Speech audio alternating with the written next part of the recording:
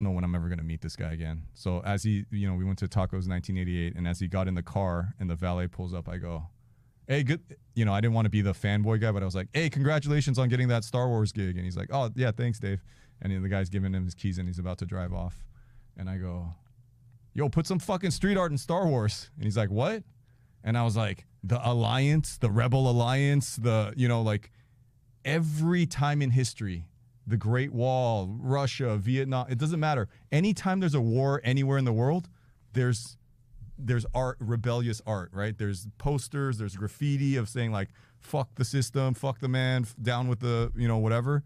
I'm like in Star Wars you have like Nazi type characters, you have all this like fighting and there's no there's no like graffiti. Mm. And he goes, "You're right, Dave." That's a very good point. Yeah, and he goes, "You're right, Dave, and you should do it." And I had just had my kid and stuff, and he's like, "I'm like, dude, I'm not trying to look for work right now. I'm just saying someone should do that." He goes, "You're right, and it should be you."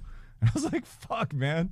So I get this, you know, and it was fun for me. And I went, and I was like, I went hardcore nerd. I was like, okay, Jawas are like this tall, so the graffiti would be like this, and Luke Skywalker would not be known on this side. So I'm like learning the Aurebesh language, the Star Wars language, and I'm layering the graffiti so it would be accurate. Like I'm like going total nerd, and and he goes, all right, and he tries to pay me, and I go, dude, I haven't gotten a paycheck in like ten years. Like I can't, I don't want to get paid.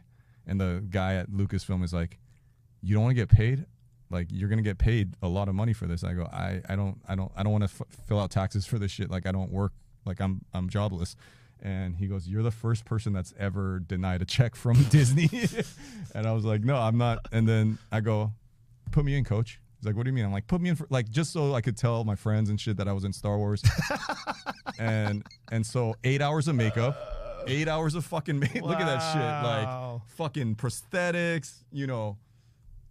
So I have like I have one second of screen time. That's like the camera panning, you know, and I- had to do make and they you know they put like paint speckles like they made it look like I was the guy that actually did the graffiti and you know Oh, so this is the first time I'm on TV acting, like not as me. So I go home, I write a short story about my the backstory of my character, and I go, oh, it's too boring for me to scream in English. I'm gonna learn Huttese, Jabba the Hutt's language. So I'm I'm out there. I got five pages of dialogue. Like we're at a gambling rig. We're um, betting on Gamorrean guards fighting. So it's like a fight scene.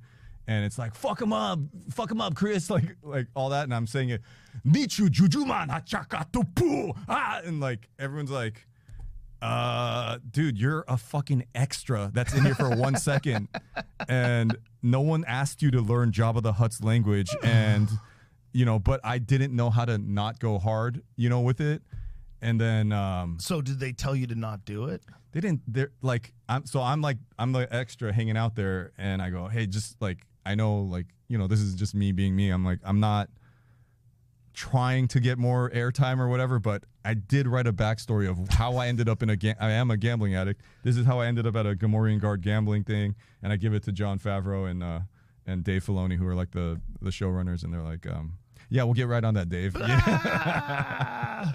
so That's hilarious. so I'm like, wow, I'm not like I went kind of all in. Like I wasn't, you know. So, anyways, it was enough. I'm like, that was great.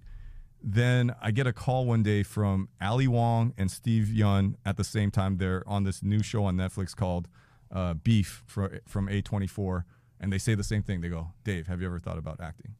And I'm like, I'm like I'm like family, dude. I'm like chilling, trying to figure out how to get to Africa. Like I'm not trying to trying to do this. And and I go, what's the part? And they're like, well, it would be filming in L.A. It'd be for like three months, and you'd be playing an angry Korean guy. And I'm like, I'm like, ah, well, is that is that how you guys see me? You know, I'm like I'm pretty, I'm like pretty chill. You know, like in